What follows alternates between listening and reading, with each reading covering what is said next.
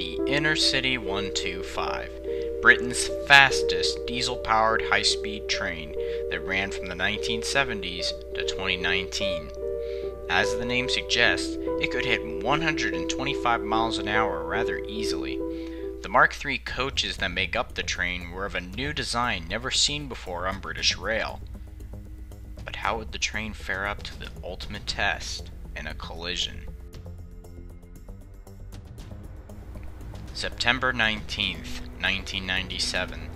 The 1032 high speed train service left Swansea driven by James Tunnock. He had dr- earlier driven the same train under head code 1B08 as the 7 o'clock Paddington to Swansea service. He now drove in reverse formation as 1A47 to Cardiff Central, where he was to be relieved by Larry Hampson.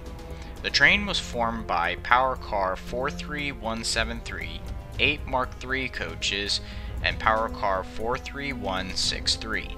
The coaches in question were two first class cars at the London end, H and G, followed by the buffet coach, F, and four standard class coaches, E, C, B, and A, at the rear. 212 passengers were on board. Further down the line, English, Welsh, and Scottish Railway freight train 6V17 is on its way to Southall Yard to drop off its empty hoppers, led by Hanson Class 59 locomotive 59101, crewed by driver Alan Bricker. The freight train was coming from London on the down relief line toward the north side and had been signaled to cross the main line at Southall East Junction on its way into Southall Yard on the south side. As the track straightened ahead of the high speed train, the driver who was gathering his belongings saw the Class 59 moving at a funny angle and realized that it was actually crossing his path on the up line in front of him. The driver of the freight locomotive observed the approaching high speed train and expected it to stop, but was alarmed at its speed and apparent brake application. He tried to accelerate his train out of the path of the high speed train, but nothing could be done to prevent disaster.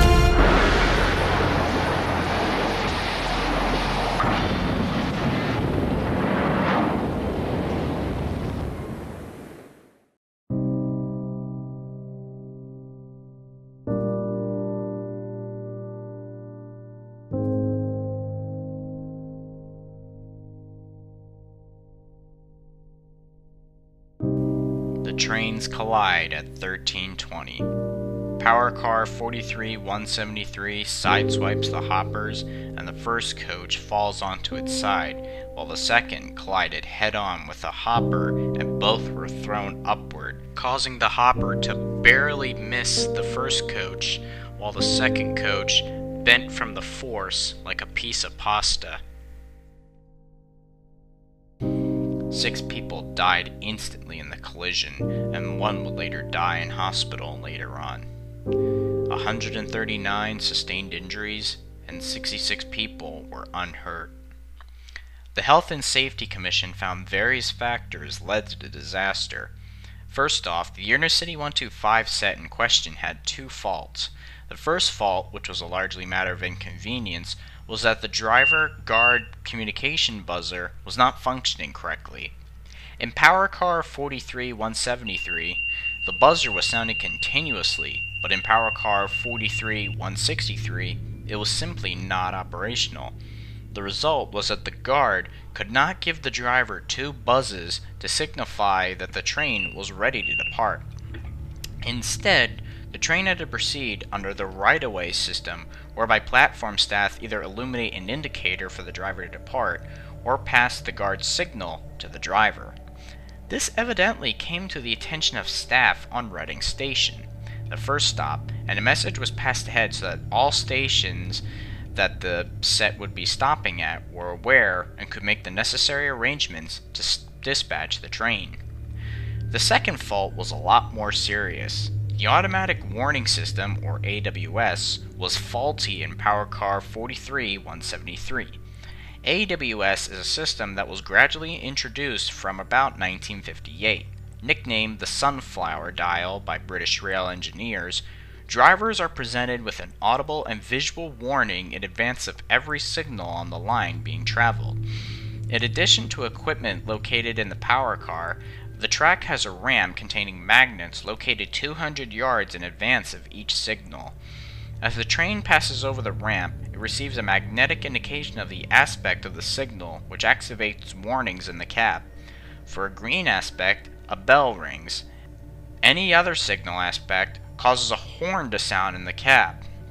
An important part of the system is that the driver must acknowledge the horn by pressing and releasing a reset button in the cab. This also has the effect of turning the visual indicator into a black and yellow sunflower pattern, hence the nickname. The most significant part of the warning system is that failure to acknowledge the horn results in automatic emergency brake application. It works kind of similar to cab signals in the United States and positive train control.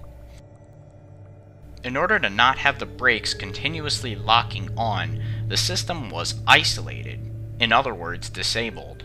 It was working fine in Power Car 43163, however, Driver Tunnock knew of both faults and reported them. Driver Harrison was also aware of the faults. However, he had not previously driven a high-speed train without AWS operational. Little attention had been given to the consequences of driving with AWS isolated, and neither driver Harrison nor any other Great Western driver had received any training or instruction on how to drive a 125 set without AWS.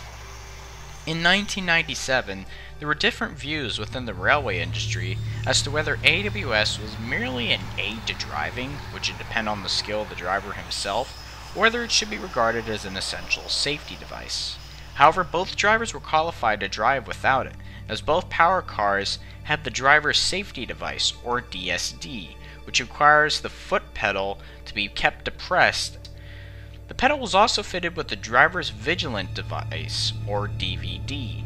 This emits a warbling sound approximately every minute, which has to be cancelled by the driver releasing and depressing the pedal within 3 seconds, in default of which there would be a brake application. The DVD was working in both power cars. At the time of the crash, the junction was protected by three signals. The first signal, what SN280, was set at double yellow. The next one, SN270, was at yellow, and the final one, SN254, was at red.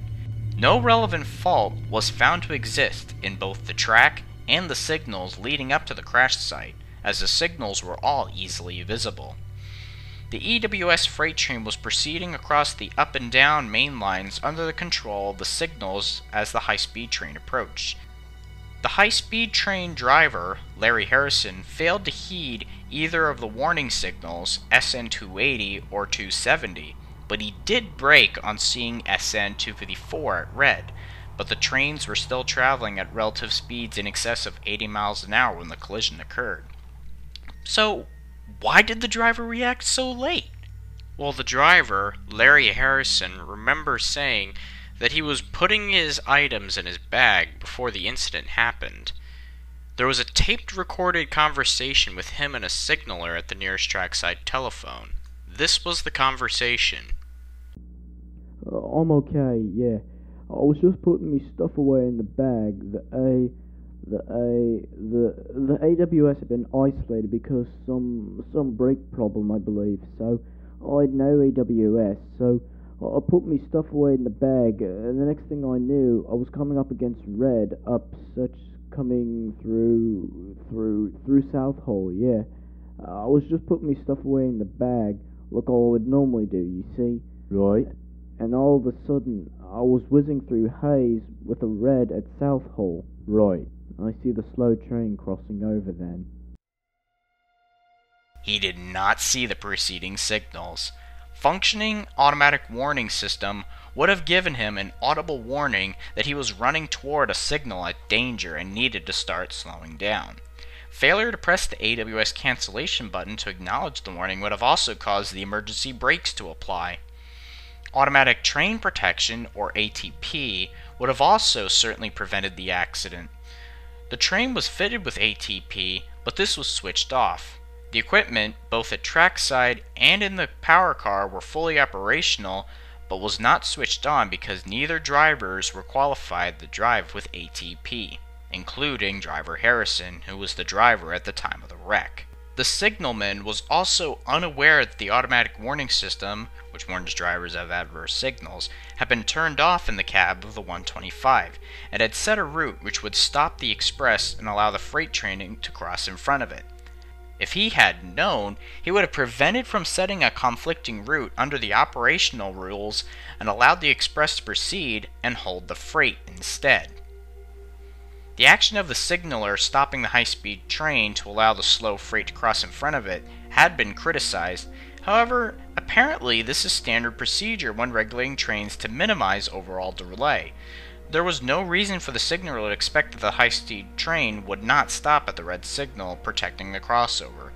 At the time, there was no requirement for the signal to have been informed that the high speed train was in service had its AWS isolated. The rulebook, however, was altered to cover this. Following this accident and the later Paddington collision on October 5, 1999, First Great Western required all, all its trains to have ATP switched on no matter what. If the equipment is faulty, the train is taken out of service. It emerged after the incident that the reset switch of the warning system had contamination on its electrical contact surfaces, which rendered its performance intermittent, hence its disabling at Oxford the day before the crash. Power car 43173, two passenger cars, and a couple hoppers were scrapped, while the rest returned to service. 22 years have passed since the accident, and it's fair to say many important lessons were learned on that fateful day.